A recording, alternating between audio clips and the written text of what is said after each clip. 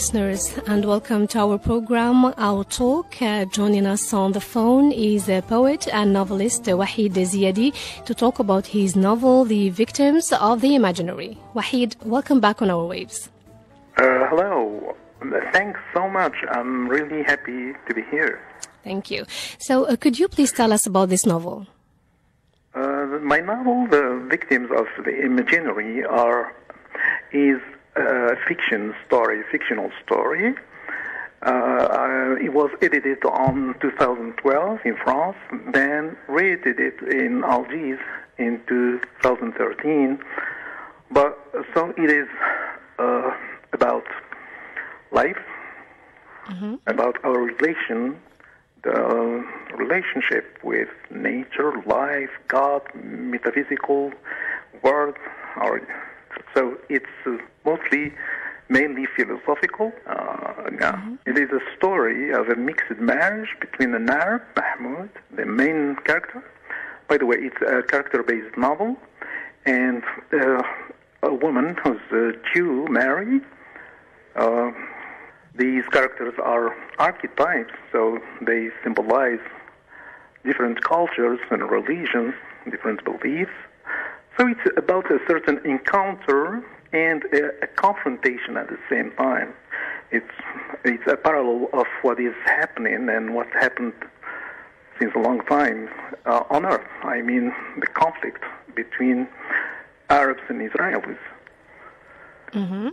Yeah. So, um, one of the main themes of the novel, uh, The Victims of the Imaginary, is uh, the clash of civilizations. Uh, why does this theme prevail in the novel? Right, that's the, the, the, main theme. So I try to talk about it not in a, an academic way, but just uh, as a story, as a news item story first. The first uh, reading would let you know about a certain, uh, as I said, uh, news item. It's about an assassination, a double murder, okay? The wife that has mm-hmm. been killed by her husband. And here is a killing of ideologies and, and certain cultures. It's not uh, re- properly about human beings. See, it's about sort of killing of ideas. It's symbolic. Yeah, it's symbolic. It's highly symbolic. Uh, so I said that there are mm, several levels of reading. You, to, you can make uh, simple reading about facts or to give them another dimension, a philosophical dimension, a sociological dimension, political, cultural. Uh, then the woman, the wife, has been murdered by his own son, and here we have to uh, trace back history of human beings, mostly the monotheistic religions. It's about Islam, Christianity, and Judaism. Mm-hmm. okay, even names of characters are referring are references to Islam, like Mahmud and Mary and Isa or Joshua is cited in the novel, mm-hmm. and Fatima as well. It's the symbol of the Shias, uh, that branch of Islam too. They are all living and interacting in this story uh, as the interaction between these cultures. Um, in your novel, you make reference to different uh, philosophical uh, concepts of great philosophers, such as uh, Socrates' uh, quotation, speak so that I may see you, for example, among others, like uh, Plato's Utopia. Is it because the novel itself uh, fall into the philosophical atmosphere, or is it an author's preference? So, you know, it's uh, like a philosophical plot first. Those references are recalling back uh, those schools of thoughts that have lived through these centuries and are thousands of years. Uh, it is, first, I wanted to say that the novel is a question of a human being, and I wanted the reader to feel himself in the novel because he's he's gonna feel himself first concerned, right? So mm-hmm. yeah, that was a way to make him identify himself with characters, each character, of course, and uh, the philosophical tendency was uh, a way to try to explain what is happening in our life as human beings and why that why is about a certain absurdity of this kind of these kind of conflicts. And you know, I've been inspired by thinkers uh, universally known as Samuel Said, who's uh, one who belongs to the tendency of neocolonialism and who said that the clash of civilizations is just a myth. Uh, so for him, there is no real conflict between humans, even though he was defending the Palestinian cause. Uh, contrary to um, Huntington, who was um, defending these fees, mm-hmm. that there is uh, that it is inevitable. This kind of conflict is really inevitable, and we have each century to wage wars and to be in confrontation with, I mean, between communities. It, it is like uh, something necessary. Mm-hmm. Yeah, these kind of opposition between the two schools or the two mainstreams and thoughts has. I try to reflect them in this story. Mm-hmm. And and what does the novel say about uh, this clash of civilizations? Yeah, you know, the, the, the novel is an, uh, an, open reflection about that. Okay, um, I didn't pretend to bring any answer. Mm-hmm. I just tried to to ask, to interrogate, interrogate myself in a philosophical way. You know, there are mm-hmm. those yeah, huge questions any human being has to ask himself about the substance of existence, of time, of life, of God. And uh, should we really mm, make uh, a huge affair of that till the point of uh, waging wars and cre- creating conflicts, political conflicts, religious conflicts? I think that it's uh, kind of uh, um, uh, it's kind of judgment of absurdity, a certain absurdity, a certain view that is not really as a human being. Mm. So you try to make a reflection on, on the clash of civilizations uh, in uh, in the novel. Right. That's a reflection. That's mostly an interrogation. Yeah. So uh, the main character in the novel is uh, nicknamed Humain or Human. Yeah, Mahmoud. Then, yeah, right yeah, and uh, humane, human, that means just, uh, that's, uh, I said that uh, I was expecting that any uh, reader would identify himself to the main character. Mm. yeah. So, um, since you wanted the reader to identify with the character human, what does the novel, your story, uh, and you as a person and an author try to tell about the human being to your readers? Yeah, I think that we have to uh, uh, value uh, moral principles and what makes makes us true human beings. I, I mean, we have to emphasize that feeling of love and uh, to be helpful, to try to uh, to put ourselves in those who are living bad conditions. So, see, so we have to share highly uh, human principles. I think that we have been created to to live in peace and see to share our cultures, to be in a certain intercultural relationship based on friendship. See, not on hatred and any kind of um, ideologies that lead to uh, dramatic confrontations like the, the, the crime that has been committed by Mahmoud against his wife just because they see that they, she has another vision of life and and like say see so his own son revenged and he killed him just to, to take revenge mm-hmm. because he, he judged that, that that crime was uh, unfair and was about he was living a huge conflict. Their son, he was really uh, uh, even a, an inner and inside psychological conflict. You see, That's, yeah. So, um, are you trying to tell that the human side of the human being is not uh, as it should be in modern society? Right. Yeah. In, I mean the community, the universal community itself, not only in our, I mean the Algerian society, because uh, see, uh, the novel is a in on a universal plan. It is regarding the humanity and the world's community. Yeah. Uh, that's from that point of view I consider human beings from that point of view. Of course. So um, we spoke a lot about religious uh, concepts in the novel and in our interview as well. Uh, religious concepts are strongly uh, present in the novel. How far does religion affect the life of the character uh, human in your novel? Right, you know, victims, that refers to the title of the novel. We are all victims of imaginary. You know, there's a little difference between imagination, the act of imagining, and imaginary.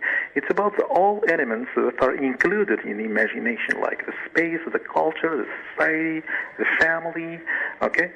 So religions are a part of that imaginary. And unfortunately, uh, because of a certain negative view, or I mean a false uh, conception of religion, uh, that makes us, that leads to what I called as a neologism, la foi pathie in French. That means the, the, the, the pathology of faith. Okay, uh, unfortunately, I can see there are certain person, certain tendencies are really sick and are ill because of a certain conception of religion. Not the healthy one, of course. That's why they commit crimes, they kill women and even children just to, for, them, they are pleasing a certain God. The God that is created in their own representa- mental representation. So uh, you just gave us the secret of the uh, title. Uh, so the secret, you know, uh, first, any human being, in in a certain way, to a certain extent, victim of his own imagination, right? We- uh, yeah. When we are excessively pretentious or ambitious, or you know, when we are egocentric, we uh, focus on our ego excessively. We're victim to a certain extent. Then this, uh, I mean, this flow, this default, would be generali- generalized uh, on the scale of a community, and we can find a whole community that is uh, affected by this state of mind and this uh, way of considering life, the universe, God, and all uh, the abstract uh, concepts, you know. Yeah, you mean that the problem is not with the concept itself, but with the human human being's belief. Right. How we conceive it or the mental representation, you know, that God isn't the same in our um, inner uh, being, you know. Each one, even if we belong to the same community as Muslims, each one of us has might have his own representation of divinity.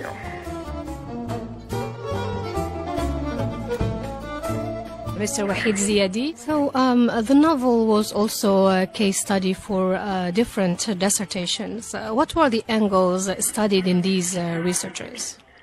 Yeah, the first one was done by a student in Gigel in 2016, and uh, the theme was Le monde, élément de l'imagination dans les victimes de l'imaginaire de Wahid Ziadi, the, the word of imagination and the mode or the way of imagination. In, It was uh, mainly based on the fact of imagining. Then another one was about the characters in the Victimes de l'Imaginaire. Uh, it was based on the psychological side of each. Uh, okay, another one was a psychocritic of the novel. So they most students mostly emphasized the the, the fiction and the, the psychological uh, portrait of characters, and I think that they did a good. I mean, the good choice of themes because it's it was based on this, upon this. Yeah. Mm-hmm. Uh, are there other angles of research that you may recommend for uh, for other researchers to further study the novel? Yeah, I would like that someone would really take seriously this matter of conflict uh, civilization, because you know I think, uh, in my humble point of view, that that's the the huge problem we we're facing as, as human beings. We have to try to avoid, or at least to minimize these kind of confrontations that lead to wars and to to, the, uh, to tragic events that we're uh, watching on TV each day. You know, it's really sad to to get bad news each day and at any moment. And the first, I mean, the guilty, uh, really the guilty one is a human being. That way. Mm-hmm. What's the solution that you may uh, recommend? For uh, for authors like you, for literary people, to uh, deal with this issue of uh, clash of uh, civilizations? You know, as uh, uh, a modest human being myself, I'm, I'm, I'm, I myself am affected by this environment. So I don't think that there is an ideal solution, but the, the key word would be dialogue and tolerance and uh, we have to accept differences. That's it. We have to multiply meetings between different cultures. That interculturality certainly would lead to a certain intercomprehension, and this kind of interaction would let us as human being uh, to, to, to avoid being racist or to or to have stereotypes about each other's. And I think that solution would be political first. Politicians have a lot to do to to build those bridges that will help communities to to mm-hmm. okay to communicate in the, the proper meaning of the word. Mm-hmm. Uh, how can literature contribute to that? Yeah, literature is really you know it's one of the, the, the I think that's a favorite for me means to convey those messages of peace. Uh, so, and, and, it has to be a little bit uh, real and concrete. I mean, even if I use it fiction, but the message I wanted to convey to uh, my readers is uh, is realistic. You know, the the story is fictional, and I was uh, there was a waltz, like a dance between fiction and reality. Fiction was just like a pretext to let the, the reader get a view uh, uh, uh, about his own reality. So mm-hmm. literature is a key for understanding and the learning of um, foreign languages. We have to value that too, because you know that when we know foreign language, we can get easily access mm-hmm. to uh, yeah to other cultures and to, to understand how they think and how they behave and how they live. So, um, a research conducted on the novel said that uh, the novel, The Victims of the Imaginary, requires uh, reading between the lines. Absolutely, yeah, between the lines and even between uh, the words. I'm not exaggerating, because you know Why I so? had a certain readers uh, that I can consider as an elite. So they really, I had certain feedbacks that they they, they, they really uh, evaluate and they value the, the, the work, the writing work. Uh, I think that we really we have to be aware when we read it. It's not just, as I said, a news item about a crime and a, a story of a family, an ordinary story. It's about uh, huge questions, huge philosophical questions, and the reader as I, that was said by André Gide, lisez-moi bien, relisez-moi. So we have to reread certain mm-hmm. Mm, literary works to really get the true meaning and the profound meaning of it. Yeah. So um, now tell us about the uh, translation uh, of the novel. It is translated into Arabic, right? Right. Yeah. So, uh, how does translation uh, translation of literary works, especially that deal with issues like the one we're talking about now, which is the clash of uh, civilizations, how does translation help in transmitting the, the this reflection on this issue and uh, trying to make it like uh, a ground for debate? Yeah, you know, but we're using. I, I personally, I um, decided to translate it into Arabic to to to to, to let more Algerian readers read it, or yeah, Arabs too, because they are they are really interested in uh, those kind of writings. And I tried myself. It's my own effort to translate it into English and Arabic. I'm still working on that. Uh, the main aim of translation is to, uh, to to make a certain extent in reaching readers and to share that thought. Uh, um, I not I don't pretend that what I'm saying in the novel is truth, and it's all based on dream, uh, dream likes and nightmareship. You know, mm-hmm.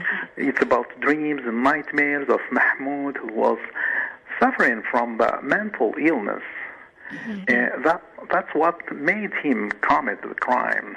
And so, okay, I I returned back to the novel. I'm sorry, we were talking about translation. Uh, yeah, well, I, you know, since uh, certain years uh, there are uh, huge efforts made in our country, and young people are really more and more interested in learning foreign languages. That's mm-hmm. a very good sign. I think that in maybe in a decade, in 10 or 20 years, the, um, the, the Algerian mentality w- would positively change because of, I mean, thanks of that, thanks to that. Mm-hmm. Yeah. So, um, how do you interact with your uh, with your readers, especially uh, in terms of when when you're dealing with issues like the one we just mentioned, which is the clash of civilizations? Yeah, you, you know, uh, we do it daily uh, through medial social media, and you know, I share certain extracts of my writings, and I um, each day expecting reactions, and I get them. And sometimes we talk, we uh, even I mean online, uh, and we share. They they are they have a certain sense of reading.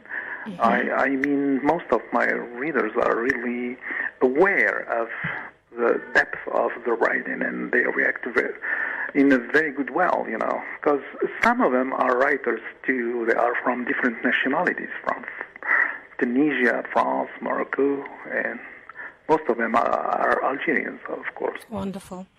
So, um, okay. After um, this talk, uh, many listeners will be interested in the novel, The Victims of the Imaginary. Please tell us where can we find uh, this novel and your other works. Yeah, it is um, uh, in Al Qubia edition in Algiers and in uh, great numbers of libraries throughout Algeria and uh, I can uh, offer it to my readers online as a PDF file, of course. It is for free. That's a, a, a modest gift from me.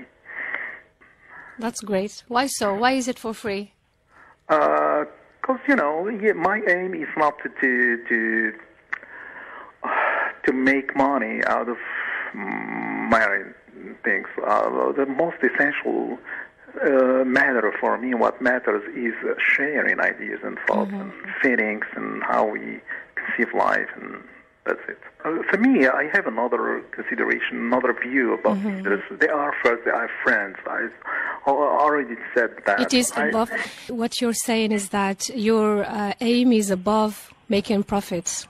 Uh, to make it your aim is above uh, having a financial revenue out of Ab- writing. Absolutely, absolutely, and I'm yeah, that's the truth, by the way. When mm-hmm. I started writing, my first aim wasn't about get, getting a certain celebrity, or that was first to share my inner being, my deep thoughts and feelings with another human being who is the reader, of course. Well, that's amazing, uh, Wahid Ziadi. We are honored to have you with us for the second time. Thank you so My much pleasure. for being with us today. Uh, anything you want to say now that we come to the end of our interview? Uh, first, I have to thank you for all what are, you're doing and still doing to promote Algerian culture and to give uh, the, a way, a voice to Algerian writers. And I really appreciate that. And I'm honored to be to to be invited in your That would be our honor. We'll surely invite you again on our waves, uh, Mr. Wahid Ziadi. Let's recall that you are an Algerian uh, author and poet.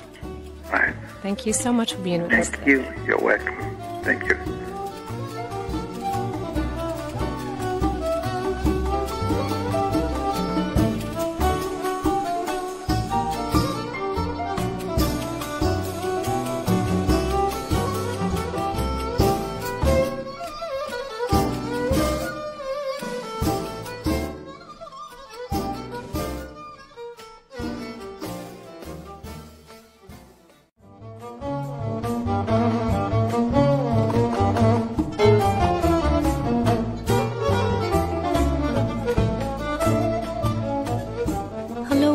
Listeners, and welcome to our program, Our Talk. Uh, joining us on the phone is a poet and novelist, uh, Wahid Ziadi, to talk about his novel, The Victims of the Imaginary. Wahid, welcome back on our waves.